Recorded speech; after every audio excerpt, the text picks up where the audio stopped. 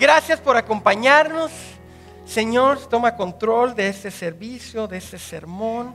Amén, Espíritu Santo. Miren, este hoy quiero que abras tu Biblia conmigo a Lucas capítulo 16. Ustedes saben que continuamos hablando del tema Dios, el dinero y yo. Dios, el dinero y yo, ¿ok? La, semana pasada se predicó de eso, la semana antepasada eh, yo les prediqué de eso, ¿se acuerdan que, que prediqué acerca del diezmo? Así es que esta mañana no voy a predicar del diezmo porque tengo miedo. Tengo miedo. No, no es cierto, no tengo miedo. Ustedes no aguantan. Eh, ok, este es el problema. No, e, este es, es un chiste, pero hoy, hoy voy a hablar acerca de la administración.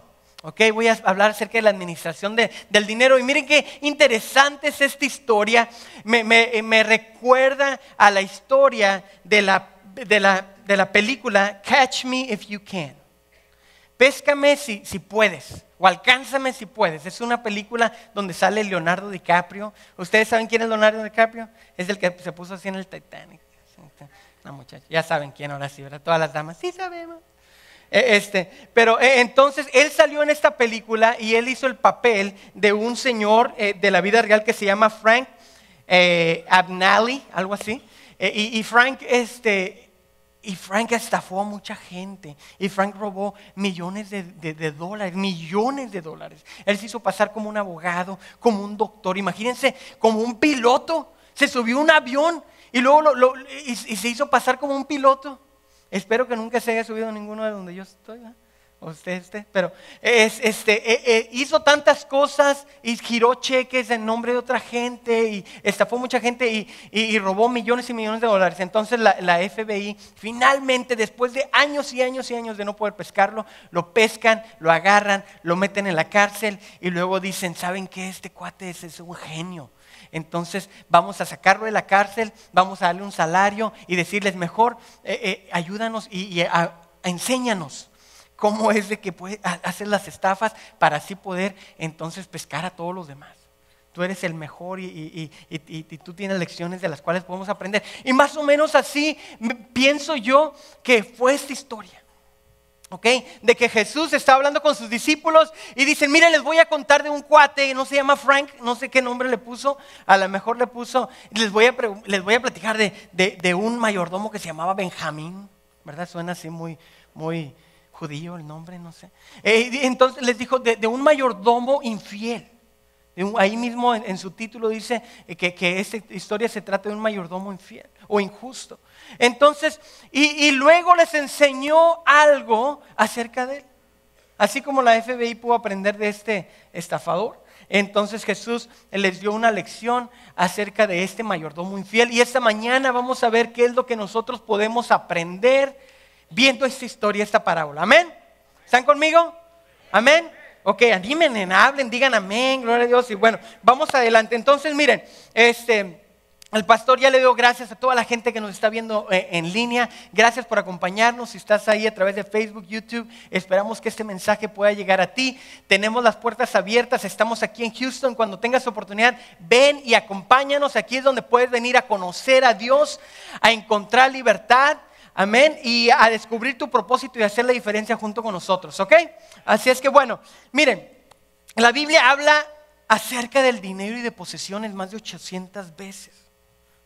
Hoy vamos a ver esta parábola que Jesús le dio a sus discípulos. Ahí si se va conmigo a, Lucas, ¿qué les dije? Lucas capítulo 16, vamos a leer del versículo 1 al, 13.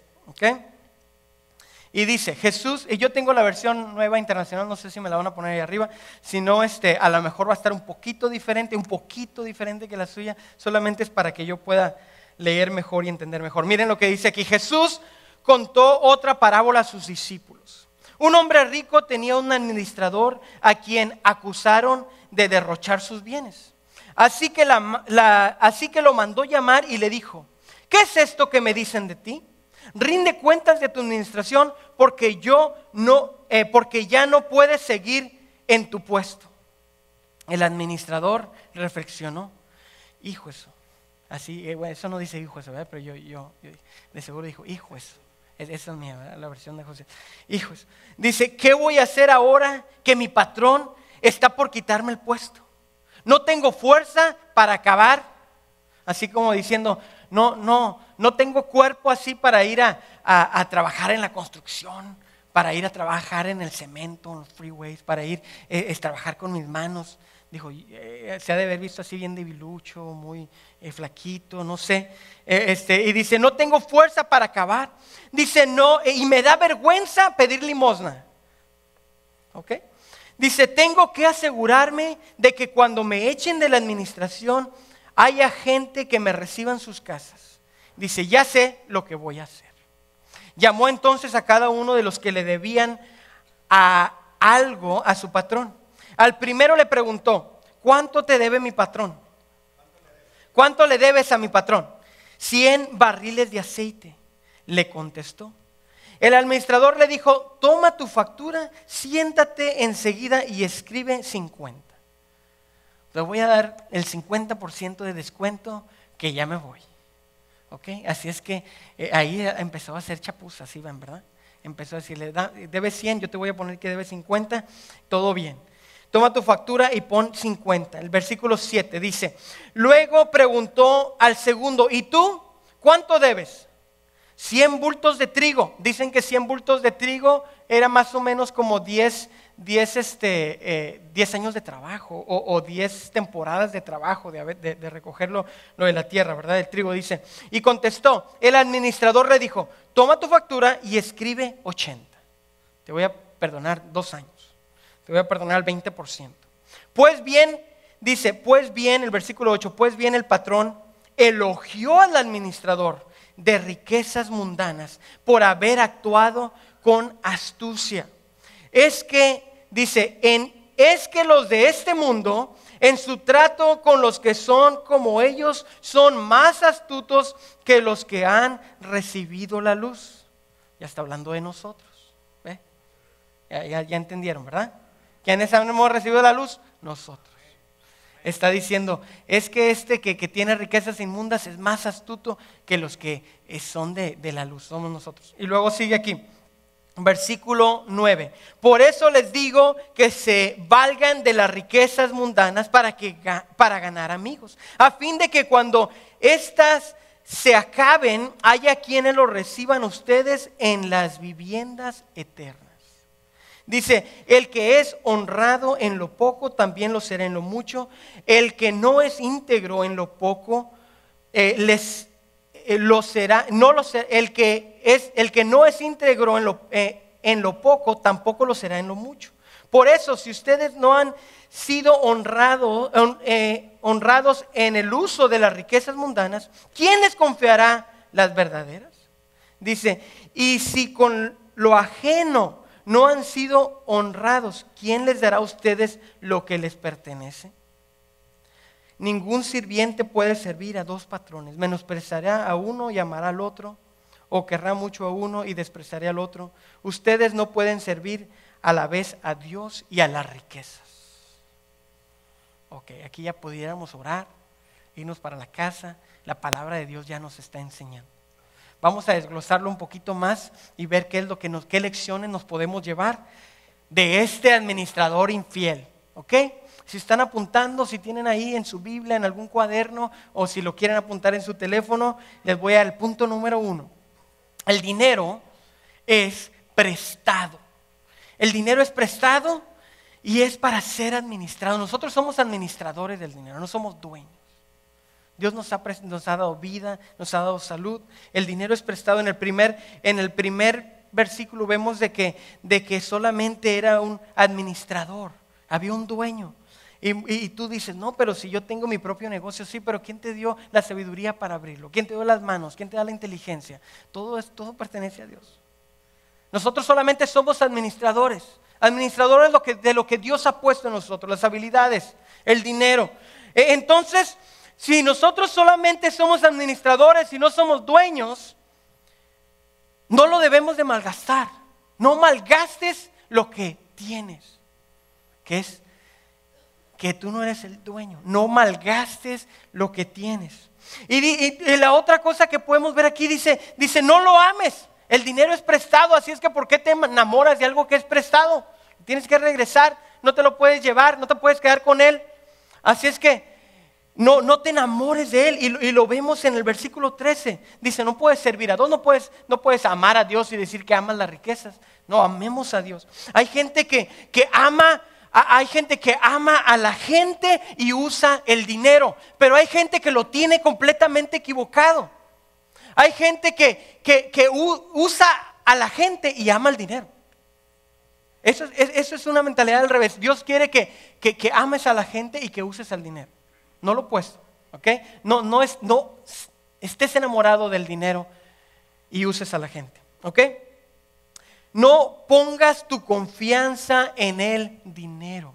No es tuyo. No es tuyo, no pongas tu confianza en el dinero, pon tu confianza en Dios porque así como vemos aquí, de repente vas a tener que rendir cuentas, de repente va a caer el stock, de repente eh, se va a venir alguna cosa, eh, pierdes el negocio, te corren del trabajo, pasa alguna cosa, ¿ok? alguna gente no pudo trabajar casi que toda la semana por lo que pasó, por la explosión que hubo, no pudo trabajar. Algunos a lo mejor no van a poder trabajar la siguiente semana. Entonces, eh, ¿tienes por ahí ahorrado para aguantar dos semanas de no trabajo? ¿Verdad? Tienes que, administrarlo bien y, no pongas tu confianza en el dinero, sino pon tu confianza en Dios porque como no es nuestro, viene y se va. ¿Ok? Viene, viene y se va. Número dos, lo otro que podemos ver aquí es que, eh, eh, que Jesús elogió de que él era un administrador astuto, ¿verdad? Ahí lo leímos. No elogió de que, de que, de que había hecho chapuza, sino elogió de que había sido astuto. Miren, en su Biblia a lo mejor dice, usa la palabra sagaz. ¿Ok? Eh, alguien astuto es el que tiene la habilidad para comprender las cosas y obtener provecho. La palabra de Dios aquí nos está diciendo de que tenemos que ser astutos como la gente que no sirve a Dios. ¿Ustedes piensan que pueden aprender de su jefe algo? Sí. ¿Pueden aprender del dueño de la compañía? Claro que sí. ¿Pueden aprender de otros que tienen bien en orden sus finanzas y tienen bien en orden su futuro? Claro que podemos aprender de eso. Entonces ah, eh, tenemos que ser astutos como ellos, que es ser sagaz. Dice, el término sagaz se, em, eh, se emplea para referirse a aquel individuo que sobresale por su astucia, previsión y prudencia. Es decir, la persona sagaz jamás se le anticiparán a, la persona sagaz jamás se le anticipará, no los va a pescar nada de sorpresa, no los van a sorprender las cosas. Eh, los, sucesores, sino todo lo contrario, porque Él, antes de que eso ocurra, Él va a saber tomar pasos para lo que viene. ¿Ok? Yo me acuerdo una vez que uno de los clientes míos estaba diciendo, yo le pregunto, oye, ¿cómo tiene tu jefe tanto dinero? Y dice, es que él pudo ver hacia adelante en una época donde había, había como que, que el valor del oro se vino para el suelo. Entonces lo que él hizo es que él empezó a comprar mucho oro, oro, oro, oro. Y entonces como ya no había tanta demanda para el oro, fue y compró una mina de oro. Dice, a los cuantos años el valor del oro volvió a subir para arriba y él se fue de ser alguien que, que tenía dinero a tener muchísimo dinero. Fue astuto y pudo ver que, para dónde viene el mercado que qué es lo que viene hacia adelante. Y él pudo actuar y ver hacia adelante, tiene sobre un privado y, toda la cosa, no me invita, no lo conozco, pero sé de él. Y, y, aprendí de que tenemos que siempre estar viendo, ¿ok? Tenemos que siempre ser astutos, ser sagaz. Número dos, el dinero es un examen. El dinero es un examen. Esto lo vimos hace dos semanas, ¿ok? El dinero es un examen. El Señor quiere saber, quiere saber si vas a pasar el examen o no lo vas a pasar. ¿Puede confiar en ti o no puede confiar en ti? El dinero es un examen y revela tu fe. ¿Has sido fiel con Dios? ¿Has administrado bien lo que Él te ha dado o no? El dinero es un examen y revela tu madurez y tu sabiduría. Entonces, ¿cómo estás manejando lo que ya tienes? Muchos de nosotros queremos, queremos que Dios nos bendiga con más, porque no podemos con las deudas, no podemos pagar nuestro carro, no podemos con lo que tenemos, necesitamos más. No puedes administrar lo que tienes. El Señor piensas que te va a dar más si no puedes administrar lo que tienes. Tienes, el, el, dinero es un examen y va a revelar tu fe y va a revelar tu madurez y tu sabiduría en lo que tiene que ver con el dinero. Me sorprende tantas historias que vemos de la gente que gana la lotería. Ustedes lo pueden leer, está en el internet, está en todas partes. Mucha gente que gana la lotería a los cuantos años de recibir millones y millones y millones de dólares, están en la bancarrota. Leí una historia de alguien en Minnesota que estaba coleccionando food stamps, estaba pidiéndole ayuda al gobierno de tan mal que había mal, de tan mal que había administrado todos los millones que ganó. ¿Por qué? Porque él no podía administrar lo que ya tenía, así es que cuando le dieron más, no pudo administrar el más que le dieron y como quiera quedó quebrado. Así es que el, dinero es un examen. ¿Estás pasando el examen? ¿Estás poniendo tu fe en el Señor? ¿Estás poniéndolo a Él como primero? ¿Estás siendo eh, eh, eh, sabio con lo que Dios te ha dado? ¿Estás siendo maduro administrando bien lo que te ha dado? Eso lo podemos ver ahí en el, en el verso capítulo 12 también. ¿Ok? En número 3, ¿qué es lo que hizo entonces este administrador infiel? ¿Ok? Número 3, él miró hacia el futuro. Cuando le vino la mala noticia, el patrón te habla y dice que le has estado regando, ya se dio cuenta de que te estás robando lana. Así es que eh, eh, este, Él viene para que le rindas cuentas. Y después de eso, tú sabes que estás mal, te van a echar. Y él dijo, ah, ¿qué voy a hacer? ¿Qué voy a hacer? Porque si este trabajo estaba bien a todo dar, bien de papita, yo nada más estaba administrando todo. Y si me tengo que ir a trabajar con mis manos, mis pies, el sudor, el sol, no puedo, no puedo. Y, tampoco puedo ir a pedir porque me da pena. No, si tenía orgullo el, muchacho, le daba pena de, pedir dinero. Y dice, no, yo no voy a ser como esos que andan pidiendo dinero, mendigando. No, me va a ver mi esposa, olvídate. Así es que tengo que pensar en algo.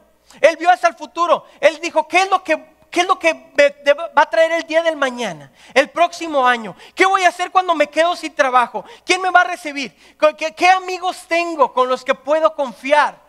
Entonces Él vio hacia el futuro. La capacidad de tu futura etapa depende de en qué tan responsable estás siendo en esta etapa. ¿Qué tan responsable estás siendo en esta etapa? Dices, oye, en el futuro yo quiero esto, pero estás estudiando para cuando llegue el futuro. ¿Te estás preparando para cuando llegue el futuro? Ustedes saben que, hace, la semana pasada no vine porque eh, este, nos fuimos de vacaciones y alguien me preguntó, oye, se miraba bien bonito y qué tan caro. Estuvo bien barato. Lo que pasa es que desde el año pasado nos preparamos. Desde el año pasado compramos los boletos con, viendo hacia el futuro, porque el 2019 va a llegar. ¿Qué vamos a hacer cuando llegue? Mi esposa va a cumplir años y quiero llevarla a algún lugar. No le, puedo haber regalado un carro. Le dije, le quiero, le quiero llevar a algún lugar y, me preparé con tiempo, hago la reservación y sale barato.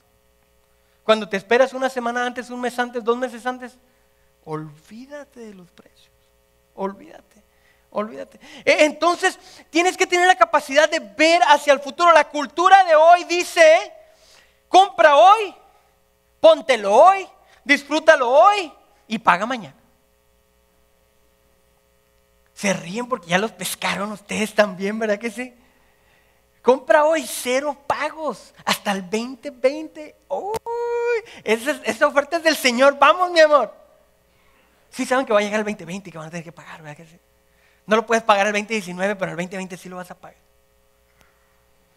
Entonces tienes, e, es la, cultura en la que vivimos, ¿ok? Preocúpate por el hoy solamente, preocúpate por hoy. Miren lo que dice, esta estadística me asustó y miren lo que dice que la gente en Europa, dice que la gente en Europa ahorra el 12% de su salario, ¿ok?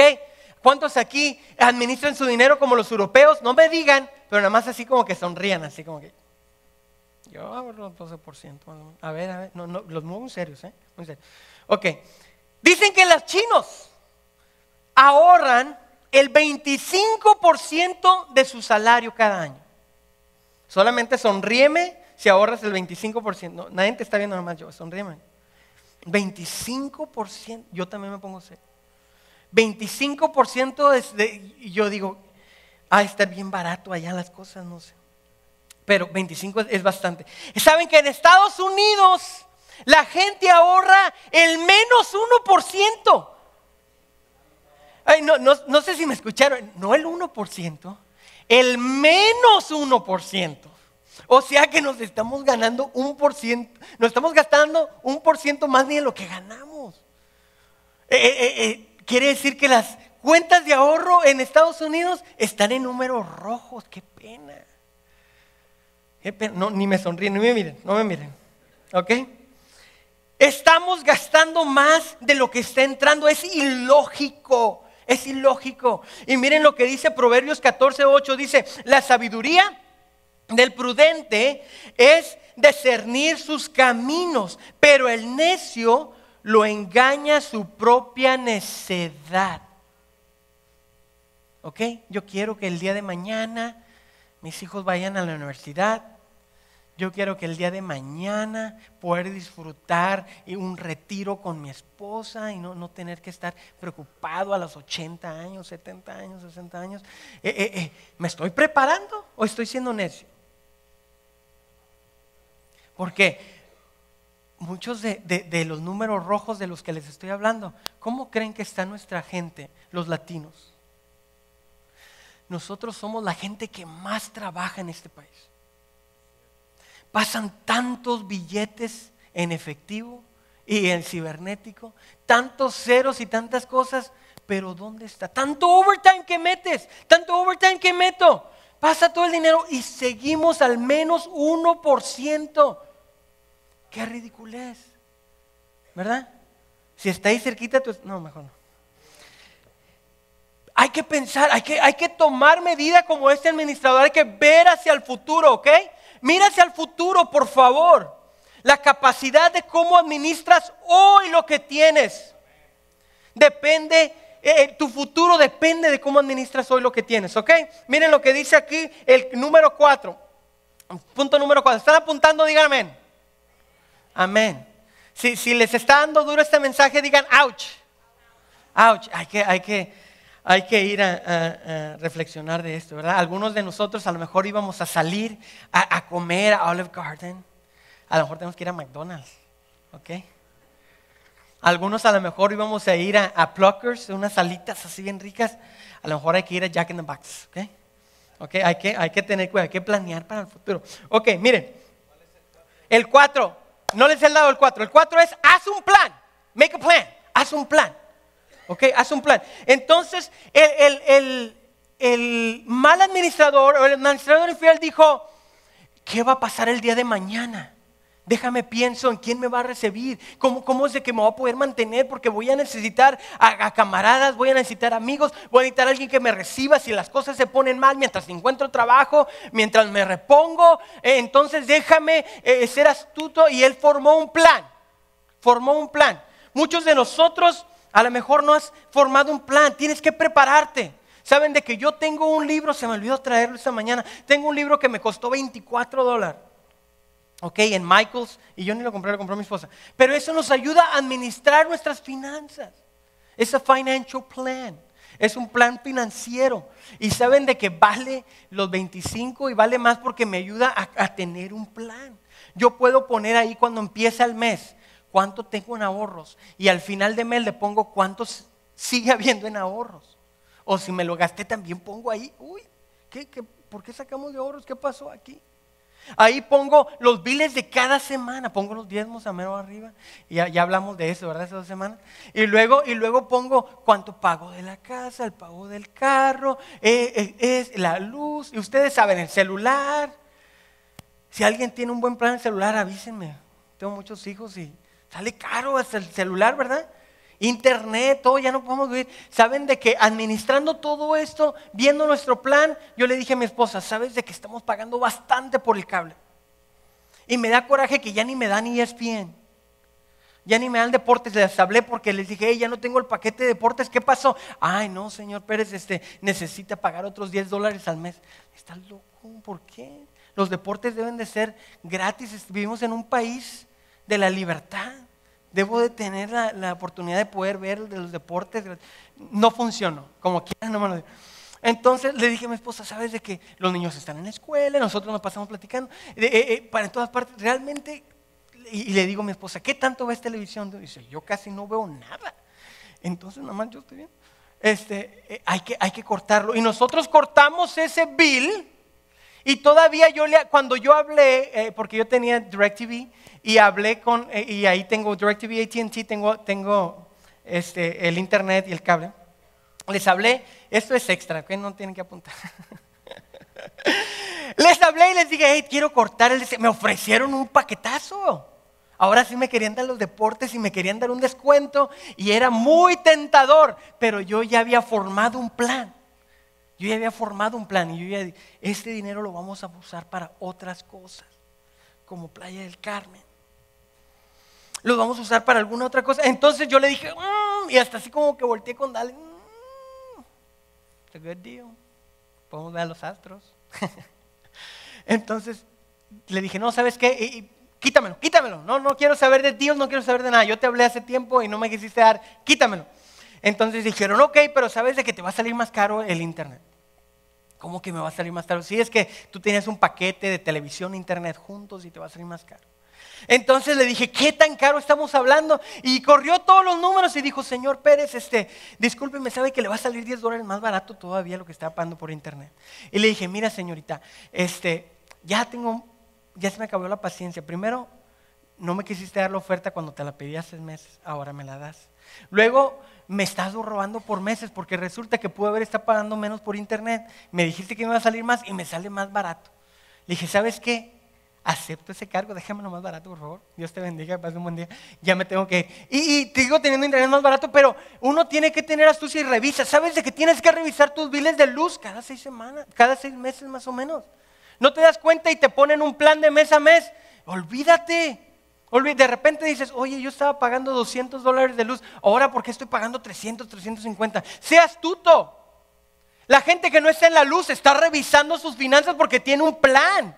Tiene un plan y sabe a dónde se va cada dólar. Muchos de nosotros, eh, eh, las deudas nos dicen a dónde se debe de ir nuestro dinero. Cuando nosotros tenemos un plan, nosotros le decimos al dinero a dónde se tiene que ir. ¿Ok? Así es que es importante tener un plan. Este, este administrador infiel formó un plan. Dijo, oh, oh, ¿qué voy a hacer? Ok, se le ocurrió y, formó un plan. ¿Ok? Proverbios 16, versículo 9 dice, el corazón del hombre traza su rumbo, pero sus pasos los dirige el Señor. ¿Ok? Así es que forma un plan, dile, Señor, este es el plan que te te entrego a ti ayúdame, bendíceme, guíame. Muchos de nosotros nada más le decimos, Señor, este, guíame, me quedan apretados y me salen. Eh, señor, este es mi plan. Guíame. No, no, no, no, no puedes ofrendarle un plan al Señor. No puedes decirle, Señor, gracias por el dinero que nos, el trabajo que tenemos, gracias por todo eso. Mira, e, este, estos son todas las, y cuando y cuando tú sabes que no es tuyo, es prestado. Es mejor todavía porque tú vienes y le dices, Señor, este, ya va a manejar mi hija, tu hija, tu hija necesita un carro. Y luego, y luego si, si, si, le dan un golpecito a, a tu hija, le dices, Señor, tu hija chocó tu carro. ¿Qué quieres que haga? ¿Lo arreglamos o no lo arreglamos? Se ve muy diferente, ¿verdad? Señor, estoy administrando tu casa, pero necesito una pintadita. Tu casa necesita una pintadita, una manita de gato. ¿Qué hacemos, Señor? Tengo un plan y, se lo entrego. Pero cuando yo sé que no es mío, Señor, tus hijos, los que me diste a mí para administrar, y se enfermaron, tienen que ir al doctor. Estoy administrando. Las finanzas las estoy administrando entonces no puedo decir que estoy administrando si no tengo un plan. Si yo tengo que rendir cuentas, yo voy y saco mi librito y lo puedo llevar y le digo a mi esposa, mi amor, no puedes comprarte esos aretes, no estaba en el plan. O a lo mejor a veces ella me dice, no puedes agarrar el paquete de deportes porque no está en el plan. Ok, tenemos un plan. Ya sabemos por qué, porque estamos viendo hacia el futuro. ¿Por qué? Porque tenemos que administrar lo que tenemos, porque si lo administramos bien, Dios nos da más. Si, no, si lo administro más, ¿para qué quiero más dolor de cabeza? ¿Verdad? A lo mejor nos está ayudando al no darnos más. Si, si, si, de la manera que tú administras tu dinero, Dios te diera más, a lo mejor ya estuvieras divorciado. Si de la manera que tú administras el dinero, si Dios te diera más, a lo mejor ya estuvieras en bancarrota. Así es que tenemos que formar un plan, administrar bien para que Dios nos pueda dar más. Punto número 5. ok, punto número 5, actúa rápidamente. Ven que este, este administrador no se tardó. Este administrador eh, pensó en el futuro, formó un plan y les habló. Hey, vente. ¿Cuánto te debe? Ok, vente, vamos a escribir, dame la factura, vente, ¿cuánto te debe a ti? Y a ti, ¿y quién da menos? ¿Y quién da menos? Ok, y empezó a, y, empezó a actuar. Dice Proverbios 12, capítulo 24, Él da manos diligentes, eh, Él de manos diligentes gobernará, pero el perezoso será subyugado. Muchos de nosotros decimos, oye, eso del plan suena bien, a ver cuándo lo hacemos. Oye, eso, eso de, ver hacia el futuro, los muchachos están creciendo, ¿qué onda con lo del retiro? Ah, deberíamos de hablar con alguien, Sí, deberíamos hablar con alguien. ¿Cuándo? Empieza ya, forma un plan, actúa rápidamente, así como lo hizo él. No te tardes, ¿ok? Tienes que actuar y tienes que hacerlo ahora. Tienes que invertir en el futuro, tienes que invertir en relaciones. ¿Estás invirtiendo en relaciones? ¿Tienes a alguien que te prestaría dinero? O, no tienes realmente amigos. Algunos que pensamos que tenemos amigos, pero no tenemos amigos. Piensas que tienes amigos y pides dinero, vas a ver si tienes o no. E, entonces, ¿por qué? A lo mejor tú no estás invirtiendo en ellos. Tú estás invirtiendo en, tus amigos. En uno de los versículos aquí dice que inviertas también eh, eternalmente. A lo mejor el mejor uso de tu dinero es usarlo para alcanzar a otros para Cristo. ¿Cuándo fue la última vez que le compraste una Biblia a un amigo? ¿Cuándo fue la última vez que le compraste un libro cristiano a tu amigo? ¿Cuándo fue la última vez que, que mandaste una donación a la radio cristiana que tú escuchas todos los días? ¿Se acuerdan hace dos semanas? Nos sentamos, comemos, nos paramos sin pagar. Nos sentamos en el carro, escuchamos. ¿Cuándo fue la última vez que invertiste para el reino? Tu dinero debe de ayudar a alcanzar a otros para Cristo. ¿Estás dando para las misiones? Te felicito. ¿Estás ofrendando, diezmando para esta iglesia? Te felicito. Porque aquí es donde viene la gente a conocer a Dios. Y si no, pues no te felicito. ¿Qué es lo que está haciendo tu dinero? ¿Te estás ganando eh, algo eternal? ¿Estás almacenando tesoro en el cielo o solamente aquí? A lo mejor ni aquí estás almacenando. Un día vamos a rendir cuentas. Un día vamos a rendir. ¿Cómo administramos lo que tienes? ¿Cómo administras lo que tienes? ¿Con cuánto más te puede bendecir Dios si en esta etapa administras bien? Aquí tenemos mucha visión.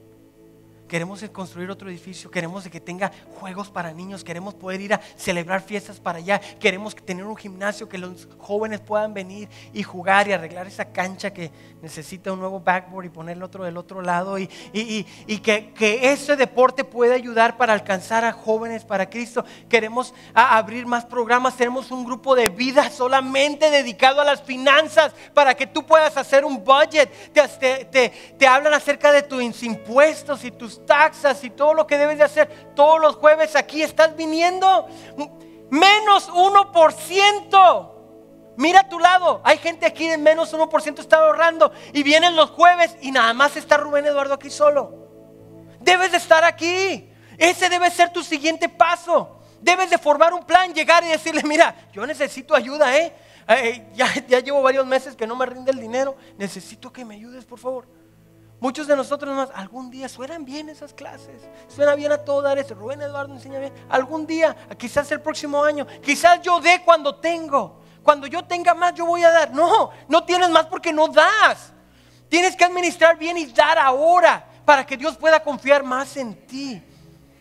Muchos de nosotros, oh, yo, con, en mis intenciones soy, son de ser buen bien generoso. Mis intenciones son de ser bien generoso. Qué buenas intenciones, pero tu acción ¿qué dice? Tu acción dice que son solamente intenciones. Son solamente intenciones. El mundo valora a la gente conforme a cuánto tiene. ¿Cuánto tienes? Hoy hay que saludarlo. ¿Cuánto tiene? uy, sácale la carpeta roja. ¿O cuánto tiene? Debe ser mi amigo. Pero Dios valora a la gente conforme a cuánto da. ¿Estás dando? ¿Estás ayudando a un amigo, una amiga en necesidad? ¿Estás administrando bien tu dinero? Sé fiel hoy con lo que tienes. Tengo poco dinero, sé fiel. Tengo poco talento, sé fiel. Tengo poco tiempo, sé fiel. Administra bien. Tengo poca influencia, administra esa poca influencia. Tengo poca experiencia, administra esa experiencia que tienes porque eso te va a llevar a más experiencia. Esa influencia te va a llevar a que puedas eh, eh, tener más influencia. ¿Para qué quieres tener tanta influencia si no la usas para nada? El dinero, recuerden, es prestado. Nosotros lo administramos bien y Dios viene y dice, ahora puedo confiar en Él más.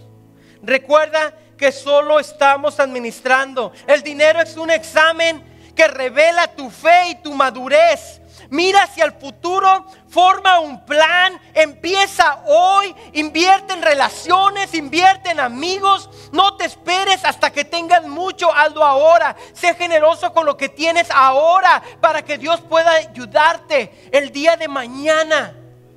¿Cómo, cómo estamos en esta etapa? Va a ser reflejada en la siguiente. Si yo me pongo a dieta hoy, a lo mejor no lo van a ver mañana, pero de aquí a tres meses. Si yo pongo a hacer un plan hoy y ver hacia mi futuro, a lo mejor yo no lo voy a ver mañana. A lo mejor no lo voy a ver el siguiente mes, pero en unos tres años vamos a ver, oye, compró una casa muy bonita. Dios lo está bendiciendo. Dios les ha dado otro trabajo. Mira, ya tiene más responsabilidad. Mira, ya tiene más influencia. Lo, ¿Cómo administramos esta etapa? Te va a ser reflejado en la siguiente etapa. ¿Ok? Dios tiene más para ti de lo que tú te imaginas, pero tienes que ser fiel. Tienes que ser fiel en lo que tienes ahora, tienes que ser fiel en lo poco y, y Él confiará más en ti. Isaías 55, 8 y 9 dice, dice el Señor, pero mis pensamientos no son los de ustedes, ni, ni sus caminos son los míos, afirma el Señor. Mis caminos y mis pensamientos son más altos que los de ustedes, más altos que los cielos sobre la tierra. A veces nosotros decimos, hijo, eso, pero a mí me gustaría que Dios confiara más en mí. ¿Por qué no me hace un gerente? ¿Por qué no me hace un dueño de negocios? Él tiene planes para ti grandísimos. Imagínate que lleguemos al cielo y que Él diga, sabes de que tú debiste haber sido un billonario. Yo tenía tantas bendiciones para ti. Sabes de que tú ibas a ayudar a tanta gente en México. Tú ibas a ayudar a tanta gente aquí. Señor, pero ¿dónde está ese dinero? ¿Por qué nunca me lo diste? Porque lo poquito que te di no lo podías administrar. ¿Cómo te podía dar más? Los planes del Señor son más grandes que lo que nos imaginamos. Dios quiere bendecirte de múltiples y diferentes maneras, pero tenemos que administrar bien lo que ya nos ha dado. Amén. Ponte de pie.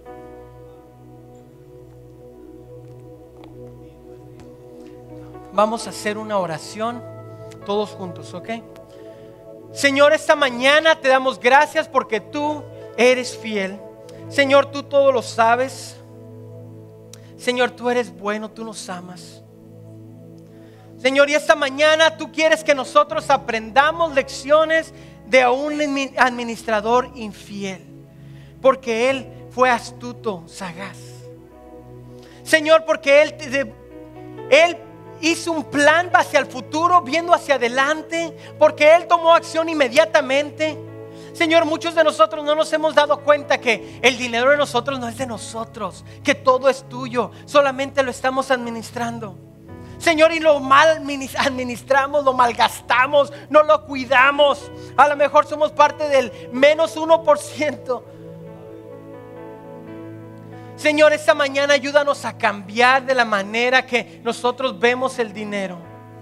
Ayúdanos a ver esta parábola de Jesús para que nosotros podamos a, ver hacia el futuro, hacer un plan, Señor, invertir en tu reino, invertir en gente, invertir en relaciones, Señor. Te doy gracias por lo que estás haciendo y por lo que vas a hacer a través de la generosidad de esta iglesia. Señor, gracias por tu fidelidad. Gracias por estar ahí. Gracias por estas lecciones que nos van a ayudar a ser mejores. Te pido que nos ayudes a aplicarlas a nuestra vida, formar un plan y actuar ahora, hoy. Te doy gracias en el nombre de Jesús. Bendice a tu pueblo. Amén y amén. Así como estás de pie, déjame te leo un, un último versículo. Ahí mismo estábamos en el versículo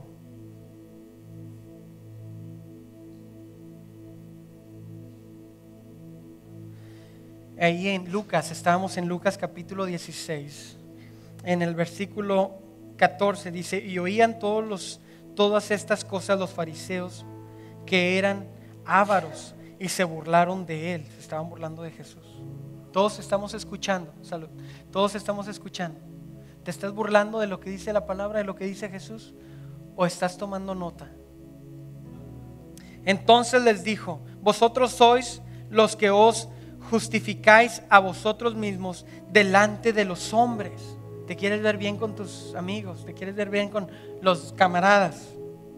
Dice más, Dios conoce vuestro corazón, porque lo que de los hombres tienes por sublime delante de Dios es abominación. Esta mañana quiero cerrar haciendo, dándote una invitación. Tú puedes reírte de lo que tiene Dios y puedes salir y puedes decir, bueno, fue algo bien, lo puedo aplicar para mi vida, hay que formar un plan. Ponlo, úsalo en práctica, Dios. Jesús nos lo, lo, lo dio para que lo, lo pongamos en práctica. Pero quiero que sepas que si tú sales de este edificio y no tienes a Jesús en tu corazón, sales más quebrado que todos nosotros. Porque nosotros ya tenemos otra mansión en el cielo. Nosotros ya sabemos que vamos a llegar a un lugar con calles de oro, con mar de cristal, que va a ser tan a todo dar y que, que, que, que, estoy queriendo estar ya, ya para celebrar y darle cinco a todos mis amigos y todos los que lleguen por allá y decirle, hey, we made it. Hey, I didn't even know you were going to make it. Good job. A lo mejor me van a decir, hey, man, I didn't know you were going to make it. A lo mejor no ibas, yo no sabía que ibas, ahí estamos, ahí estamos, llegamos, dame cinco. Nosotros tenemos a Cristo en nuestro corazón y no quiero que te vayas aquí sin tener a Cristo en tu corazón. Esto de las finanzas es bueno, pero ¿cómo está tu corazón? ¿Cómo estás administrando tu corazón? ¿Jesús tiene el primer lugar en tu vida? ¿Dios tiene el primer lugar en tu vida? ¿O solamente decimos que tiene el primer lugar en nuestra vida? Esta mañana, si tú nos estás visitando o si tú ya tienes tiempo aquí, voy a hacer una última oración para que tú recibas a Dios en tu corazón. Jesús, el Hijo de Dios, fue y pagó por nuestros pecados en una cruz. Y ahora nosotros podemos aceptar ese regalo que es Jesús. Aceptar en nuestro corazón y tener vida eterna. El mejor regalo. Olvídate de las riquezas de aquí por un segundo. ¿Qué es lo que vamos a tener allá? Porque lo opuesto es, si no tenemos las riquezas después de esta vida, vamos a tener un calor, unas llamas, un infierno. Allí se van a encontrar varias gente también. Esperemos que no, invítelos para que vengan y conozcan a Dios aquí. Inclina tu rostro, vamos a hacer una oración. Si, si quieres hacerlo y aceptar a Cristo en tu corazón, repite después de mí. Señor, esta mañana te doy gracias por tu palabra. Te pido que entres a mi vida, entres a mi corazón. Acepto el regalo de Jesús en mi vida. Gracias por haber mandado a tu Hijo para que muriera por mí. Gracias porque pagó por mis pecados esos pecados de los que estoy pensando, esos pecados de los que alguna gente sabe y esos pecados de los que algunos nunca saben o no van a saber, Señor, que he ocultado por tiempo. Tú vienes y tú perdonas, perdona mi vida, perdona mi corazón, sáname, hazme de nuevo, así como dice tu palabra. Acepto el regalo de tu Hijo en mi corazón esta mañana Sé que vas a cambiar el rumbo de mi vida. Sé que vas a cambiar el rumbo de mi familia. Vas a cambiar el rumbo de mis finanzas. Gracias por este regalo. En el nombre de Jesús. Amén.